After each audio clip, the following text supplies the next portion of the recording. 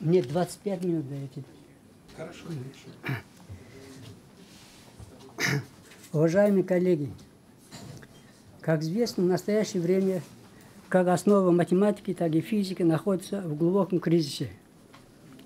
Если идеи и результаты, полученные в основе математики, в своем поступательном развитии такого состояния достиг в том случае, когда начал пользоваться идеями теории бесконечных множеств, то идеи и результаты, получаемые в основе физики – такого кризисного состояния достиг в том случае, когда в своем поступательном развитии начал пользоваться основными идеями и уравнениями теории относительности и квантовой механики.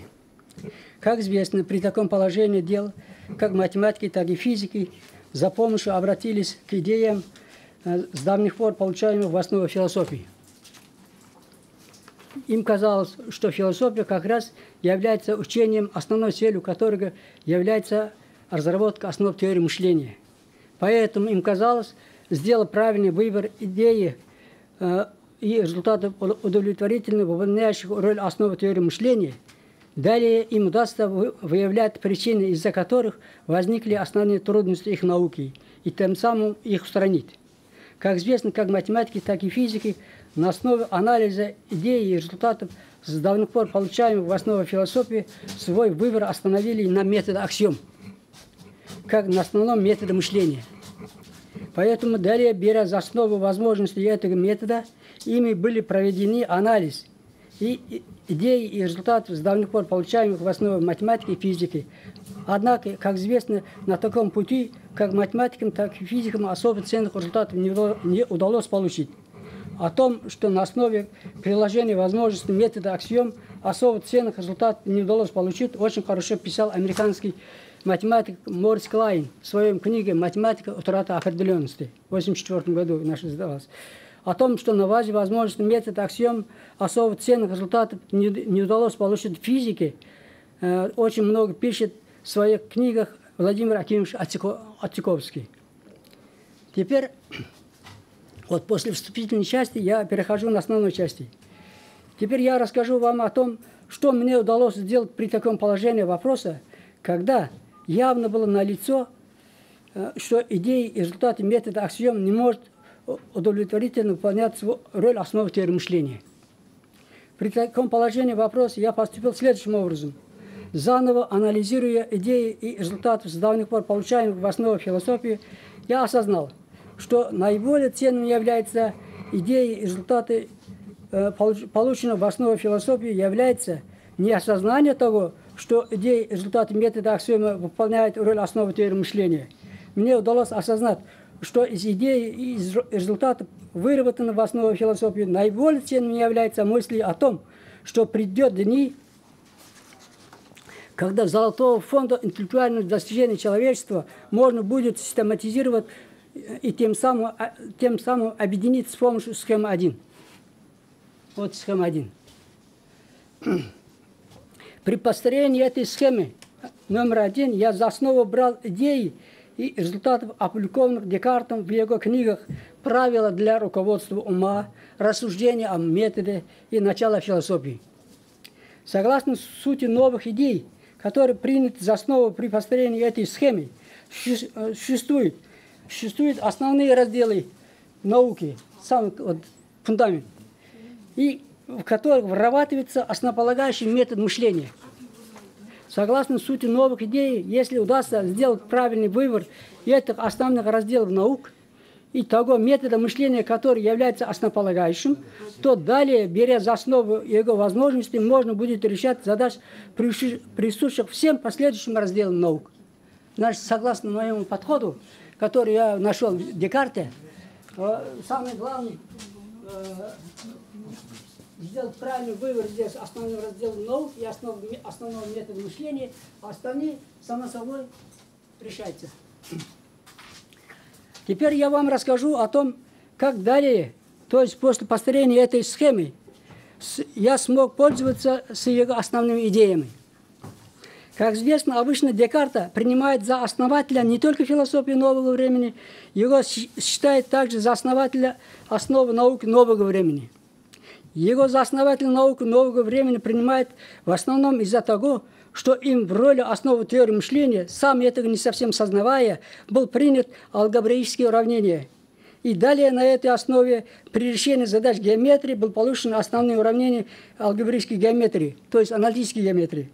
Как известно, несколько позже Левинс и Ньютон показали, что при решении задач геометрии и кинематики в роли основ теории мышления можно пользоваться не только идеями и уравнениями алгебры. Они показали, что в таком роли можно пользоваться также возможностями идеи и уравнений арифметики. Имея в виду эти факты, я дал, далее имел возможность совместно анализировать идеи, учтенные при построении схемы 1, и идеи и уравнения, которые далее то есть современно Декарта, Левинса и Ньютона был получен в основе математики и физики. Все это дал возможность осознать, что постепенно нашей науке созревают идеи и результаты, которые можно учесть с помощью схем 2. Что понимаю? Не движется, да? Прямо по этому щелку идет как. Вот так вот. Поняли, да? А, вот вот. там вот слева, прямо, видите, выделена рамка. Вот это вот. Вот схема и 2 и 3. Вот созрева, постепенно созревают э, идеи результаты, которых можно учесть с помощью схемы 2 и 3.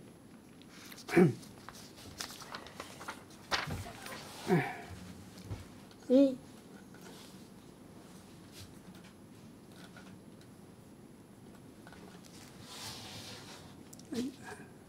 Давлет, ты помоги мне. Это 4-5, да? А, получится.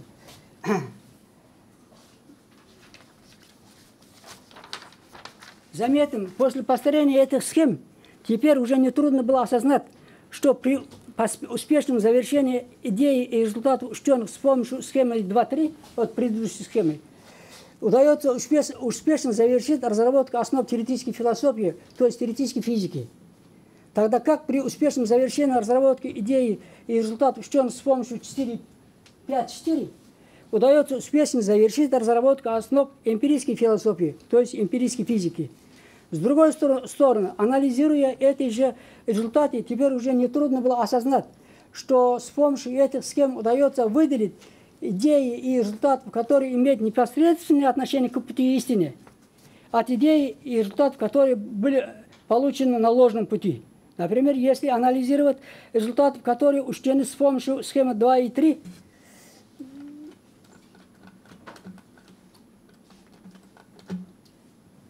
два и три, вот, э, то можно заметить, что в числе идей и результатов, полученных в основе теоретической физики, отсутствуют явно э, основ, основные уравнения матричной механики.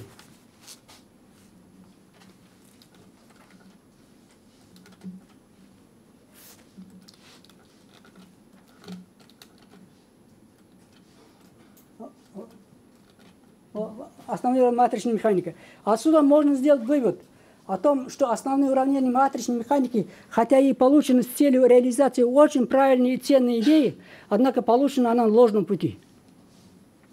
Разумеется, для того, чтобы доказать, что это действительно так, вначале надо будет удовлетворительно завершить разработку идеи ученых с помощью схемы 2 и 3, 4, 5.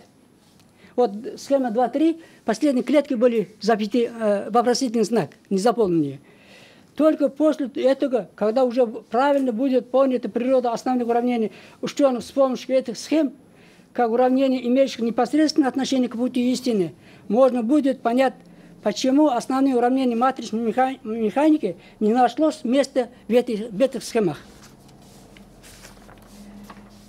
Теперь я расскажу э, общих чертах, как удалось в принципиальной части завершить разработку основ эмпирической философии, то есть эмпирической физики. Это схема 4, э, да, 4-5. Как видим, при построении этих схем за основу теории мышления приняты идеи теории вероятностей, вот в самом начале, то есть вероятностной арифметики.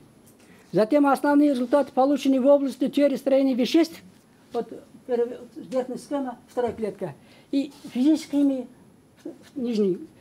Э, значит,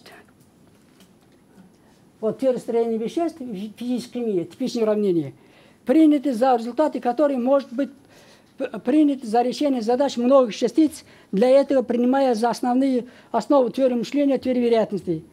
Затем эти результаты обобщены таким, таком аспекте, что теперь объектом исследования может оказаться не только обычные атомы и молекулы, как это исследуется в физической химии.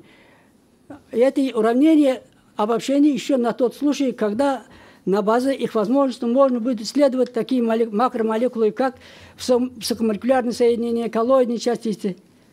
Затем эти результаты приняты за основу при решении задач биологии, психологии, социологии.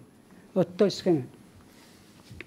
Здесь я о том, как эти результаты, присущие теории строения веществ физической химии, каждый раз обобщались таким образом, чтобы теперь на их основе можно было решать последующие задачи биологии, психологии, социологии. Я подробно останавливаться не смогу, а во всем этом подробно написано в моем книге, опубликованной в этом году, под названием «Алгебрические арифметические уравнения основ теории познания». Теперь я в общих чертах расскажу, э, как мне э, удалось завершить, э, замкнут, вот, заполняя вот эту вопросительную клетку с вопросительным знаком, результаты получаем в основе теоретической физики. Вот я для этого вернусь на схему 2-3. 2-3, да? Да, да. Да, да. 2-3. Как видим, при построении этих схем за основу теории мышления приняты алгебрические арифметические уравнения в самом начале. Поэтому далее основные уравнения алгебрической геометрии, арифметической геометрии, послед, еще дальше алгебрической кинематики, арифметической кинематики были приняты за уравнения, которые были получены при решении задач геометрии и кинематики с точностью превышающей алгебры и арифметики, которые стоят в самом начале. Заметен такой подход, когда природу основных уравнений алгебрический геометр, в общем, алгебрический геометр, арифметический геометр, алгебрический кинематика, арифметический кинематик удается принимать за уравнения, имеющих смысл, полученные при решении задач геометрии и кинематики с точностью присущей алгебре арифметики, далее дал нам возможность осознать, что разработка основ теоретической физики то, тоже должен завершаться с получением основных уравнений алгебрической физики и арифметической физики. Это очень важный момент. Если мы принимаем за основу алгебрического уравнения, арифметического уравнения, как основу теории мышления, а на этой основе решаем задачи геометрии, кинематики, получая алгебрическое уравнение арифметической геометрии, кинематики, то основные уравнения теоретической физики, вообще-то должен тоже иметь характер алгебри, как основные уравнения алгебрической физики и арифметической физики. Поэтому нам удалось усовершенствовать и уточнить понимание природы основных уравнений теории Гамильтона, Якови и Шредингера и основных уравнений э, статистической механики Гиббса. Вот он. Таким образом, чтобы мы имели возможность принимать их за основные уравнения алгебрической физики. Причем э, такое понимание природы этих уравнений надо было осуществлять так, чтобы далее на их основе этих же уравнений можно было получить решения, имеющие ква- арифметические физики, значит, кванты физики. Значит, нет. Вот что.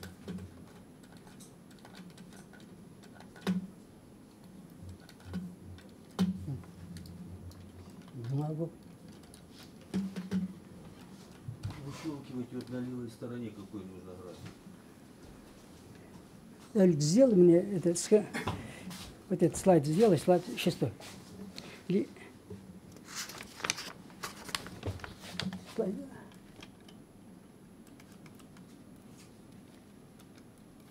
Дальше, дальше, дальше. А, вот это. Нет, Джан, Джан, следующий. Следующий. Вот а здесь. Следующий? Ага, вот, вот. Вот я, я вот хотел, э, повторю мысль.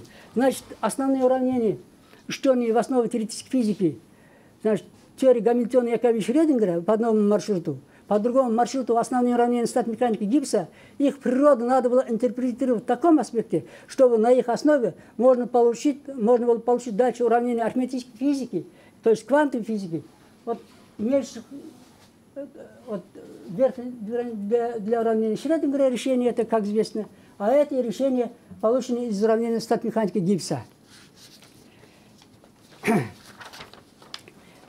Таким образом, теперь... Сейчас. Ага. Ага. Таким образом, теперь после того, как удается принимать выражение вида, вот который предыдущий показал, за решение уравнения теории Гамильтона Яковлевича Шредингера, а те последующие, как решение стат механики Гибса, мы имеем возможность вместе схемы 2-3, который с вопросительным знаком незаполненным, заполнить с этими теми результатами и получить завершенные результаты вот схемы э, вот это 7-8, да? Да, 6-7. 6-7 подробно рассказать о том, как все это было сделано. Я опять не могу, не располагаю временем, и о них написана книга. Скажу только о том, что все это стало возможным при предположении, что уравнение теории э, Гамильтона Яковлевича Шредингера имеет смысл для 3 плюс одномерного пространства и тренмерного пространства, а уравнение стат механики гипса имеет смысл для 6 плюс одномерного пространства и 6-мерного пространства. Таким образом, Теперь, после того, как я в общих чертах рассказал, как принципиальные части удается привести в порядок идеи уравнения научной философии, получаемые в области теоретической физики и эмпирической физики с помощью схемы 6 и 7 э, э, и 4 и 5, мы имеем возможность объединить, при этом получая результаты систематизированных с помощью схемы 8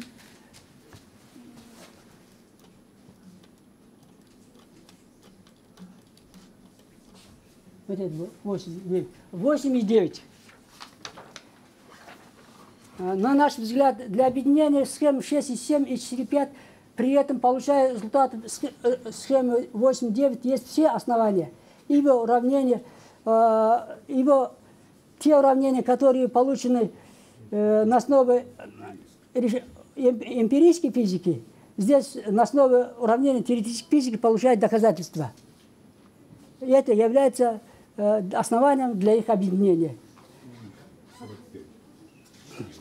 Теперь мы, наконец, имеем возможность в общих чертах рассказать о том, что все это дает для решения конкретных задач. Действительно ли удается здесь объединить до, сих пор получаемые э, наиболее важные результаты в области эмпирической физики и теоретической физики. А если они действительно правильно получены, нам дол, должны дать Э, возможность решить конкретные задачи. Если новые полученные идеи и результаты правильные, как мы об этом думаем, то, беря за основу этих результатов, можно будет решать все тех задач, правильные решения которых до сих пор оставались проблематичными. Как известно, одной из таких задач является выявление причин того, почему так называемая квантовая физика, которая в начале, в начале начала очень хорошо разрабатываться, однако позже встретился с трудностями которые э, трудностями. Если в них доля, э, доля правды, то новые результаты должны привести к выявлению причины, почему так получился. На наш взгляд, беря за основу новые идеи и результаты, действительно можно объяснить, почему так случится. Например, для этого можно обратить внимание на следующие основные формулы, которые Планк получил в 1900 году и которые позже в 2011 году.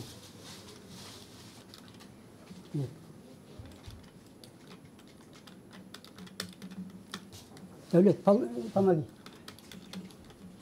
Следующий слайд покажи. Послед, предпоследний слайд.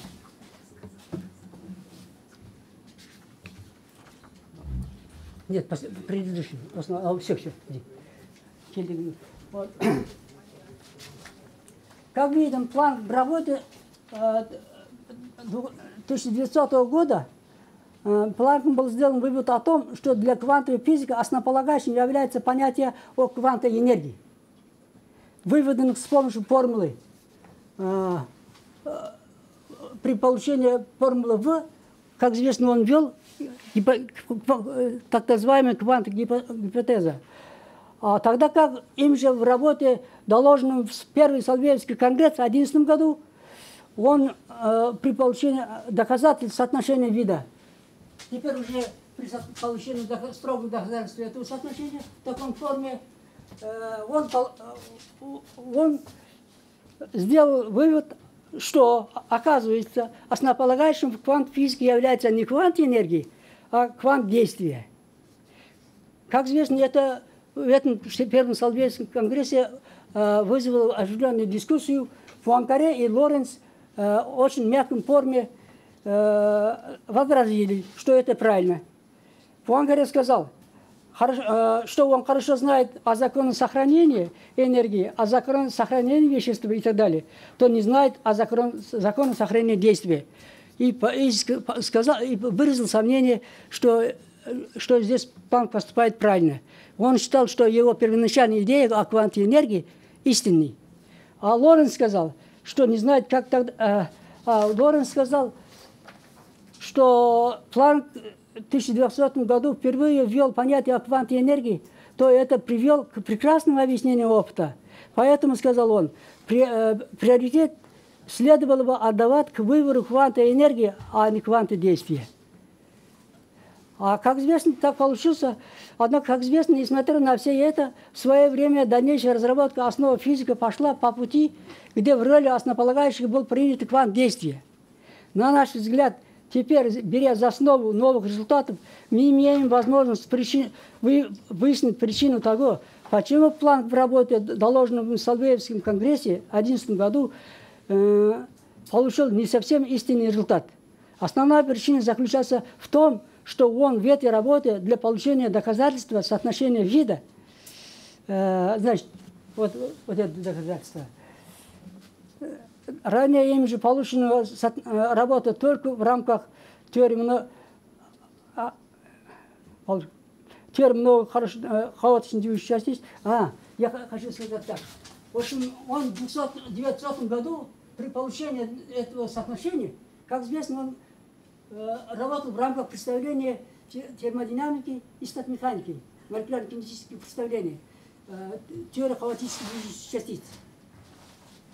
А потом, в 2011 году, при получении этого доказательства, э, это, наряду с уравнениями гипса э, для стацумы, пользовался э, соотношением вида, написано, написано для линейного гармонического осциллятора, который является вообще, вообще-то системой э, n подчиненных связям частиц.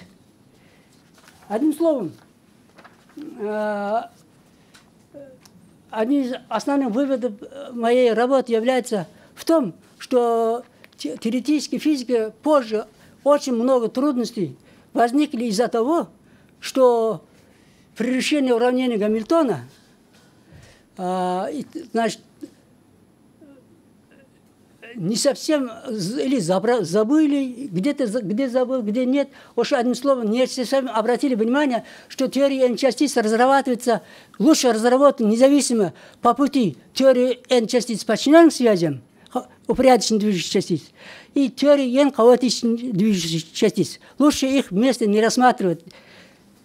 А Планк, работа 2011 года, как раз это наруши- э, закон в общем, э, нарушил. Он представление теории упорядоченных движущих частиц и хаотичных движущих частиц совместно рассматривал и тем самым получил желаемый результат.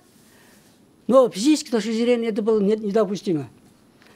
На наш взгляд, а теперь дальше. На наш взгляд, беря за основу новые идеи и результаты, можно интерпретировать природу основного уравнения матричной механики. Как известно, Гейзенберг Давлетке. Чего ты? Нет. Э, Последний слайд сделал. А вот, вот, иди. Как известно, Гейзенберг, когда он впервые начал разрабатывать основополагающих идей матричной механики, вначале работая в области квантовой теории дисперсии, обратил внимание, что для, для того, чтобы удовлетворительно объяснить э- экспериментальные данные, основные уравнения классической механики, которые получены для взаимозависимости ненаблюдаемых величин, недостаточны. Отсюда он сделал вывод, что эти уравнения классической механики э, должны быть преобразованы в уравнения, которые бы э, дал взаимозависимость наблюдаемых величин. Как известно, он в своей рукописи, которую он передал Макс Борну, дал решение задач, э, для решения задач, которые он по- поставил перед собой, исходил из, из анализа уравнения движения классической механики вида А. Э, Затем он, имея в виду, что имеет место соотношение вида В вот для координаты разложения. Далее на его основе вначале получил выражение в. Вот из этого соотношения искусственным, совершенно искусственным путем перешел на это соотношение, ввел искусственную диск- дискретность. Конечно, N. Затем заменив члены, а, затем заменив членами нового, а, члены этого разложения в членами нового типа Г тоже сделал был искусственный. И на этом уровне он а, ввел понятие амплитуды перехода, частоты перехода. Теперь после все это, если все это смотрят, и, если на все это смотреть с позиции новых результатов, то можно за- заметить, что в рамках возможности нового подхода тех задач, которые Гейзенберг при переходе от уравнения А к уравнениям В и Г, которые были получены им искусственно, можно получить строго. Для этого э, придавая новый смысл основным уравнениям теории Гамильтона и Шредингера и статмеханики Гибса, как уравнения, имеющих смысл, полученных из р- из решения уравнения Гамильтона для много упорядоченно движущихся частиц и для много хаотично движущихся частиц. Благодарю за внимание. Спасибо, ровно уложился докладчик замечание. отведенное время. А? Замечание очень Да, важное. пожалуйста, пожалуйста. Уважаемые коллеги, в свое время Бертран Рассел обратил внимание на то, что на этом пути познания нас ввели в ловушку, страшную причем. И он предложил, что всякое логическое рассуждение не приводит к развитию. Всякое утверждение логическое, философское, должно добавляться фактор действия, потому что действительность – это действие. Закон сохранения действия не тот, который пишут и который вы читаете, а вот Ньютоновский. Вот хитрость в том заключается, что когда вы пишете равенство, левая часть равна правая. У вас нет развития, нет творения. Поэтому было предложен логистический способ решения. Это означает, что скорость действия – это то, что задумано. Вы прибавляете еще то, что связано с действием, дух, движение. И это не равно, а переходит силы реакции реакции и минус, минус, минус L реакции, потенциальный миг. У вас происходит качественное изменение энергии самой. Поэтому у вас никогда э, уравнение, это, это определение одно через другое. Оно в себе не содержит качественного перехода состояния из одного состояния в другое. Поэтому всегда должны быть не уравнения. С помощью уравнений вы никогда не получите акт творения, который характерен для природных процессов. Спасибо. Хорошо, спасибо.